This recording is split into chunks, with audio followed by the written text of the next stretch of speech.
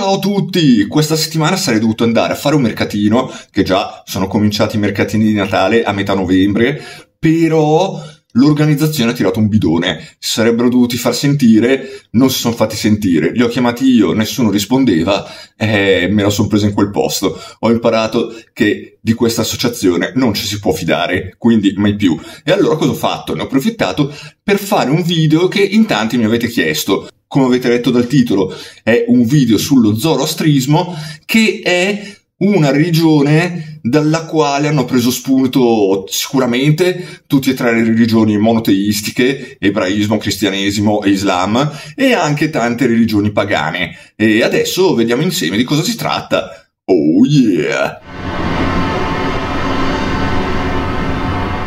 Lo zoroastrismo, definito anche mazdeismo, dal persiano antico Mazdayasna, cioè adorazione di Mazda o culto di Mazda, è la religione basata sugli insegnamenti del suo fondatore, il profeta Zardusht, chiamato in occidente Zarathustra o Zoroastro. Nato nell'odierno Azerbaigian, non si conosce con precisione in quale periodo sia vissuto, ma gli studiosi hanno usualmente collocato il personaggio storico Zarathustra tra l'undicesimo e il VII secolo a.C. Ipotesi più recenti, confermate da verifiche filologiche e archeologiche, ritengono che sia più plausibile una sua collocazione nell'età del bronzo tra il XVIII secolo e il XV secolo a.C., L'area geografica in cui si ritiene possa aver vissuto e predicato il profeta iranico è compresa tra gli odierni Afghanistan e Turkmenistan. Lo zoroastrismo, nel tempo diffusosi soprattutto fra i popoli iranici, fu la religione favorita dalle due grandi dinastie dell'antica Persia, gli Achemenidi e i Sassanidi. Tra il VI secolo a.C. e il X secolo d.C. fu la religione più diffusa nelle regioni iraniche e nell'Asia centrale, sia teologicamente che demograficamente e politicamente. Secondo la tradizione, molti dei testi sacri andarono perduti quando Alessandro Magno distrusse Persepoli e rovesciò il regno Achemenide negli anni successivi al 330 a.C. Quindi, siccome non sono sopravvissute fonti scritte persiane contemporanee di quel periodo, è difficile descrivere a fondo la natura dell'antico zoroastrismo, anche perché il testo sacro della religione, l'Avesta, è stato messo per iscritto solo nel secondo secolo a.C quindi oltre un secolo dopo l'arrivo di Alessandro Magno, e fino ad allora era stato tramandato solo per via orale. Nonostante le vicissitudini politiche della zona, lo zoroastrismo resistette e quando la dinastia Sassanide prese il potere in Persia nel 228 d.C., promosse l'adozione della religione zoroastriana. Molti storici ritengono che i Sassanidi perseguitarono in un primo momento il cristianesimo, perché considerarono i cristiani come potenziali alleati del loro acerrimo nemico, l'impero romano. Ma il cristianesimo antico vide anche il distacco da Roma di alcune chiese orientali, tra le quali la chiesa nestoriana, che si pose in conflitto con le dottrine accettate a Roma e Costantinopoli, fu tollerata e a volte addirittura favorita dalla dinastia imperiale. A partire dal VI secolo lo zoroastrismo si espanse nella Cina settentrionale attraverso la via della seta, ottenendo uno status di ufficialità in alcuni stati cinesi, tanto che numerosi templi zoroastriani rimasero fino almeno al 1130 circa nelle regioni di Kaifeng, oggi Henan, e Xinjiang, ma dal XIII secolo la religione perse gradualmente importanza nel panorama religioso cinese. Nel VII secolo la dinastia sassanide fu abbattuta dagli arabi musulmani e gli zoroastriani ottennero lo status di popolo del libro da parte del secondo califfo Omar. Dopo l'occupazione islamica, l'uso della vesta antico e delle lingue persiane fu proibito, perché conquistatori islamici considerarono gli insegnamenti di Zoroastro come un culto politeistico, ma i seguaci zoroastriani non accettavano la nuova religione e volevano mantenere le loro tradizioni religiose legate al fuoco sacro. Preferivano morire piuttosto che convertirsi all'Islam.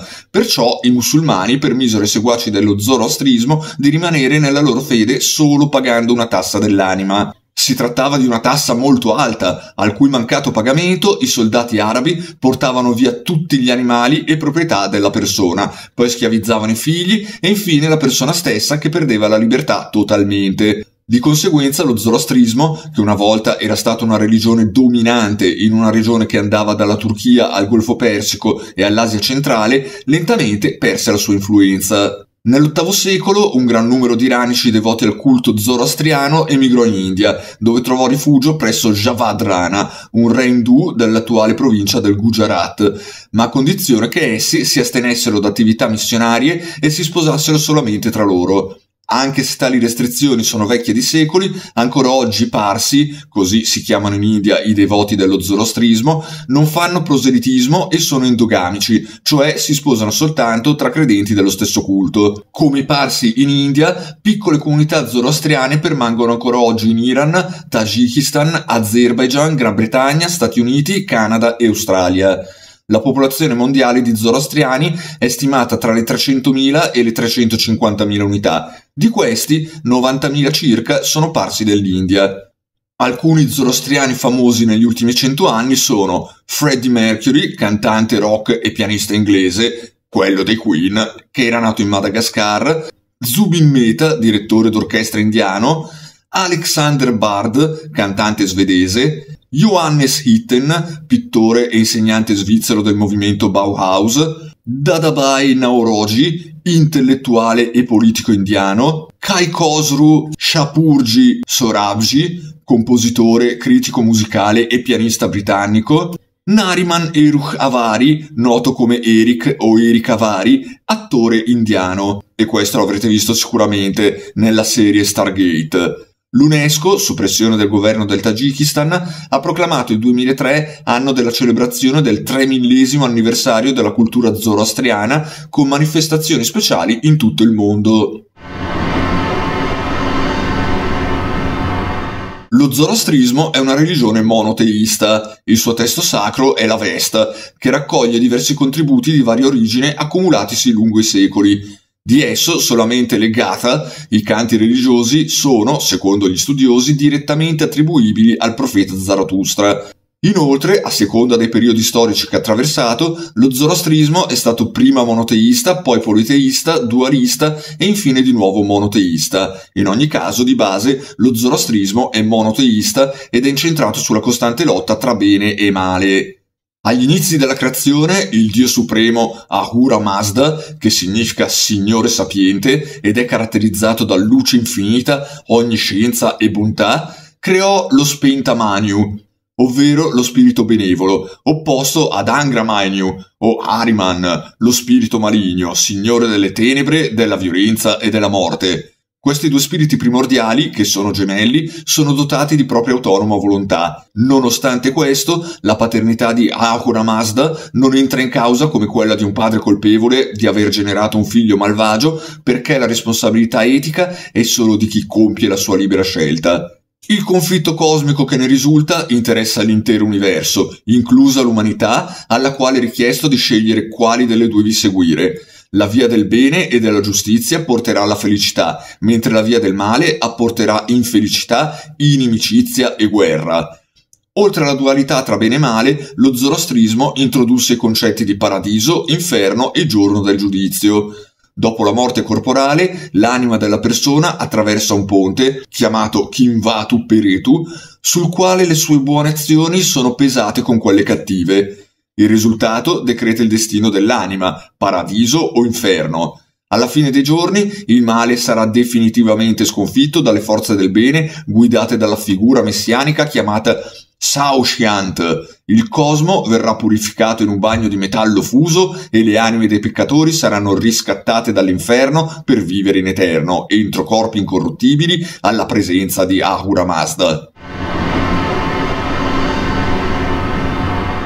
La filosofia zoroastriana è riassunta da uno dei principali motti della religione. Buoni pensieri, buone parole, buone opere. Uomini e donne hanno uguali diritti all'interno della società. La natura svolge un ruolo centrale nella pratica dello zoroastrismo. Le più importanti feste annuali zoroastriane riguardano celebrazioni della natura, il nuovo anno nel primo giorno di primavera, la festa dell'acqua in estate, la festa d'autunno alla fine della stagione e la festa del fuoco in mezzo all'inverno. Pigrizia e lentezza sono malviste. La carità è vista come opera buona. Lo zoroastrismo condanna l'oppressione degli esseri umani e l'oppressione animale e anche i sacrifici animali e promuove l'uguaglianza di tutti gli esseri viventi senza distinzione di razza o religione, come promuove il rispetto per qualsiasi cosa. Nello zoroastrismo l'energia del creatore è rappresentata dal fuoco. I devoti del culto solitamente pregano la presenza di qualche forma di fuoco e in mancanza di esso davanti a fonti di luce. Il fuoco comunque non è oggetto di venerazione, ma utilizzato semplicemente come simbolo.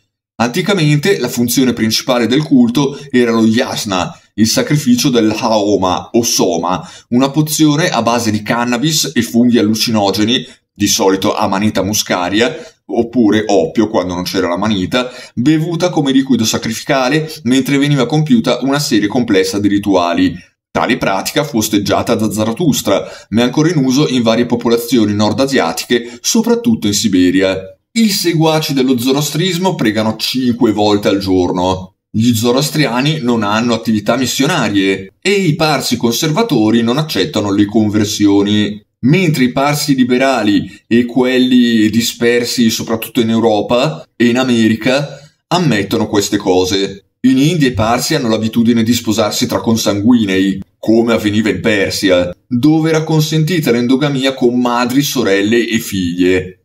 Quindi si sposavano madri, sorelle, figlie, cos'era tutto un intruglio, un gran disguido genetico. In Iran, a causa della discriminazione tuttora esistente, il matrimonio tra appartenenti a religioni diverse non è per niente incoraggiato dalla società e tantomeno dalle autorità. I rituali connessi con la morte sono concentrati sull'anima della persona e non sul corpo che è considerato impuro. Alla morte l'anima lascia il corpo dopo tre giorni. Nei tempi antichi il cadavere veniva esposto in luoghi aperti e sopraelevati, chiamati torri del silenzio, dove gli avvoltoi l'avrebbero mangiato. Anche gli imperatori persiani quali Dario, Ciro, Serse e Artaserse, in quanto zoroastriani, furono spolpati dagli avvoltoi prima di essere sepolti. La tradizione dell'esposizione dei cadaveri è attualmente seguita solamente dai parsi. Gli zoroastriani dell'Iran ricorrono alla cremazione o all'inumazione, ma in tal caso la bara è posta nel cemento per proteggere la purezza della terra. I seguaci di questa religione mantengono tante tradizioni della religione originale, come la festa di primavera che viene considerata l'inizio del nuovo anno, l'inizio della vita, la vittoria del bene sul male e la vittoria della luce, cioè del sole, quindi del bene, sulle tenebre. Il giorno della festa è l'ultimo martedì prima dell'equinozio di primavera. La notte di quel martedì viene considerata magica e alcuni credono che possano accadere dei miracoli. Quel giorno bisogna fare pace con i nemici e chiedere perdono a quelli che si sono offesi. La gente si veste con indumenti belli e nuovi, secondo la tradizione, e i bambini bussano alle porte lasciando un sacco, sperando che ci sia messo dentro qualche dono, e vanno a nascondersi, per poi tornare a riprendere il sacco. Per la tradizione quel giorno non si può mandare via nessuno senza un dono, nemmeno se fosse un nemico, perché nel giorno sacro tutti devono ricevere solo del bene. Sul tavolo si mettono dei dolci a forma di sole, di stella e infine un dolce a forma di mezzaluna, quindi i corpi celesti sul quale si basa il calcolo del giorno della festa. Inoltre mettono sul tavolo di festeggiamento delle uova colorate che sembrano anticipare di molto le uova di Pasqua decorate tipiche dei paesi cristiani ortodossi e si prepara il pesce, che secondo alcune fonti è simbolo di Ahura Mazda vincente. Tutti questi dettagli e anche il periodo di festeggiamento sembrano dunque riproporsi nella Pasqua, che potrebbe avere qualche origine comune con la festa zoroastriana. Durante i festeggiamenti si salta sopra il fuoco che simboleggia la liberazione dei peccati, dal male, dalle malattie che vengono lasciate bruciare nel fuoco sacro.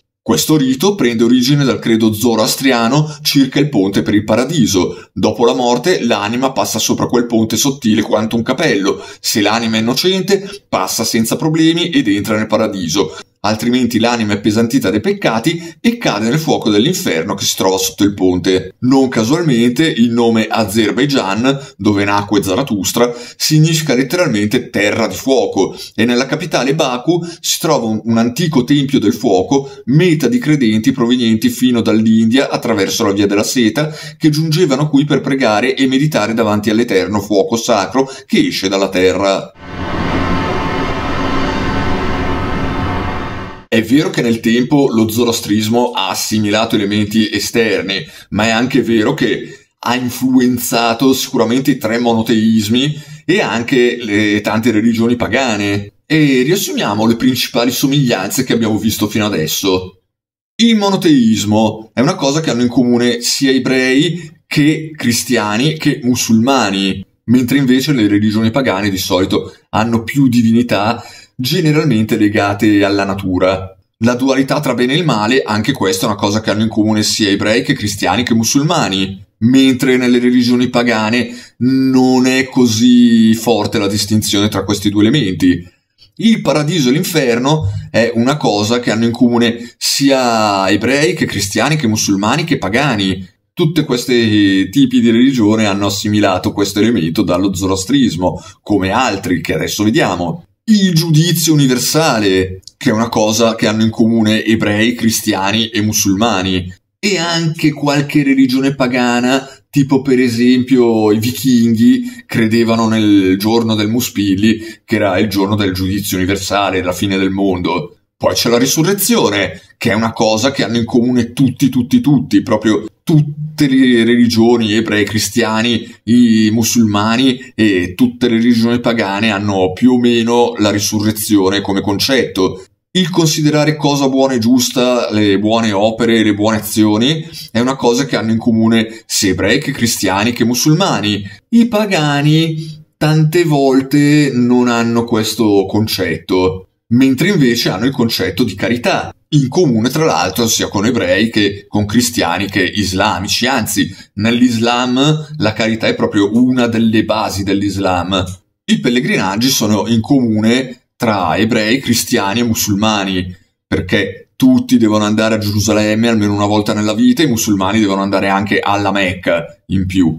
Mentre le religioni pagane non hanno questo obbligo la preghiera cinque volte al giorno è una cosa che hanno ereditato dallo zoroastrismo sia i cristiani che i musulmani. Poi è vero che i cristiani se ne fregano, però in teoria ci sono queste preghiere il mattutino, i vespri alla sera, tutte le preghiere in mezzo che adesso non mi ricordo come si chiamano questi orari, i nomi delle varie preghiere. Comunque, il buon cristiano, come il buon musulmano, come il buon zoroastriano, deve pregare cinque volte al giorno. Le feste stagionali le tre religioni monoteistiche non le hanno assimilate, mentre invece sono state assimilate da più o meno tutte le religioni pagane, che festeggiano appunto natura e stagioni, che fanno parte della natura. I diritti uguali fra uomini e donne, anche questi, eh, sono cose che sono state assimilate solo dalle religioni pagane, in cui in tantissimi casi ci sono proprio pari diritti, mentre ebrei, cristiani e musulmani proprio se ne fregano, è proprio il contrario, anzi proprio nei loro libri sacri c'è scritto che la donna impura va trattata da essere inferiore, eh, bella roba, eh? Essere contro l'oppressione umana, questa qui è una cosa che hanno assimilato cristiani e popolazioni pagane, mentre ebrei e musulmani, proprio nei libri sacri, c'è scritto che chi non è della loro religione va sterminato. Nel Corano meno esplicitamente, nell'Antico Testamento invece è proprio scritto chiaramente sterminare, passare a fil di spada e violentare le donne dei nemici. Bella religione. I cristiani vengono anche loro da lì, però col Nuovo Testamento, mh, mm, interpretandolo come fa comodo, hanno cambiato le cose, anche se in realtà Gesù dice io sono venuto per completare l'opera del Padre mio, quindi non ha cambiato niente. Anche i cristiani in teoria dovrebbero ammazzare e sterminare chiunque non è cristiano, secondo il volere del loro Dio essere contro sacrifici animali, ecco, questa è una cosa che hanno assimilato davvero i cristiani oltre i pagani, anche se alcuni pagani sacrificano animali, mentre invece ebrei e musulmani loro li sacrificano proprio per volere di Dio. Basta vedere la macellazione che la chiamino kosher gli ebrei o halal i musulmani, è sempre una macellazione rituale, un rito e l'animale è una vittima sacrificale che poi viene mangiata, però è un sacrificio animale. il fuoco come simbolo divino. Eh, gli ebrei non ce l'hanno, però i cristiani, i musulmani e quasi tutte le religioni pagane l'hanno preso, l'hanno assimilato questo elemento. Tra l'altro, una curiosità, Yahweh come si presentava nel deserto quando gli ebrei erano, stavano facendo l'esodo, che sono stati 40 anni nel deserto, come si presentava di giorno con un turbine di sabbia tirato su dal vento che andava verso il cielo e di notte un turbine di fuoco che andava verso il cielo e li guidava. La cosa curiosa è che sia per gli ebrei che per gli arabi, questo è il modo proprio in cui si presentano i jinn. E i jinn cosa sono? Diavoli, spiriti maligni. Quindi un po' una contraddizione questo Yahweh, Dio buono del bene di qua di là, che poi si presenta come un gin e si comporta anche come un gin leggendo la Bibbia. Poi c'è l'usanza di assumere il soma, vietatissima sia da ebrei che da cristiani che da musulmani, ma praticata da quasi tutte le popolazioni che praticano religioni pagane. E concludiamo con la festa di primavera in cui la parte dei dolci è stata assimilata proprio dalle religioni pagane, dai Celti. Halloween è quello che noi chiamiamo Halloween. Gli zoroastriani lo fanno in primavera, Halloween viene fatto in autunno, però è lo stesso modo di festeggiare. Come allo stesso modo l'usanza di regalare uova decorate, che è un'usanza assimilata di brutto dai cristiani, che regalano l'uova di Pasqua e appunto, come ho detto prima, nei paesi ortodossi dove c'è il cristianesimo ortodosso, le regalano decorate proprio. Ci sarebbero anche altre similitudini, ma per ora mi fermo a queste perché già non sono poche. Come abbiamo visto, più o meno tutte le tre religioni monoteiste e anche tante pagane hanno preso tanto dallo zoroastrismo però più o meno tutte pretendono di essere l'unica che detiene la verità, l'unica che conosce la volontà di Dio e tra l'altro il loro è l'unico vero Dio. Purtroppo nel corso dei millenni questa pretesa ha portato a guerre e stermini, a volte di popolazioni intere, che continuano ancora adesso, ma che in realtà usano la religione come scusa per conquistare territori economicamente interessanti e far fuori chi ci vive da sempre così non può accampare nessun diritto su quel territorio. Naturalmente c'è sempre stato chi se ne è approfittato della credulità della gente e il risultato è quello che abbiamo tutti sotto gli occhi, con la maggior parte dei conflitti attuali in giro per il mondo che prendono proprio come scusa la religione. E se non è la religione, il nazionalismo che è un'altra forma di religione, è il credo verso dei confini tracciati arbitrariamente e la convinzione di essere superiori solo perché si è nati all'interno di quei confini. In pratica si tratta di credere di essere superiori, che è la stessa cosa che ti fanno credere le religioni. C'è da dire che lo zoroastrismo ripudia le guerre o qualsiasi altra cosa che possa far male agli esseri umani e anche agli animali. Però è anche vero che dallo zoroastrismo è conseguito tutto quello che ho detto adesso, quello che ho appena descritto. E comunque si tratta sempre di credere in qualche divinità inventata millenni fa per spiegare quello che ai tempi la scienza non poteva spiegare e per dare un ordinamento alla società dell'epoca. Ma davvero ce n'è ancora bisogno? Con questa domanda da un milione di euro vi saluto, ma prima di lasciarvi vi consiglio un altro canale. Il canale si chiama Custo Ergo Sum, Custo perché è gestito dal dottor Custo e quando dico dottore non è una cosa così detta a caso, questo qui è davvero un professore universitario che si occupa di scienze, religioni, astronautica, storia, arte e tutti i falsi miti e le bufale che, che ci sono attorno a questi argomenti. Dategli un'occhiata, vi lascio il link del suo canale sotto nella descrizione. E voi continuate a seguirmi sul mio canale YouTube 2Speed, se non siete ancora iscritti iscrivetevi, così mi aiutate a far crescere il canale. Iscrivetevi anche ai miei gruppi su Facebook Urbex Mystery, dove trovate tutte le coordinate di tutte le mie esplorazioni e escursioni e viaggi in kayak, dove trovate tanti percorsi interessanti da fare in kayak. Date un'occhiata sempre su Facebook alla mia pagina Two Speed Artigianato, dove trovate tutti i miei lavori artigianali in pietra, legno e metallo. E io vi do appuntamento al prossimo video. Oh yeah!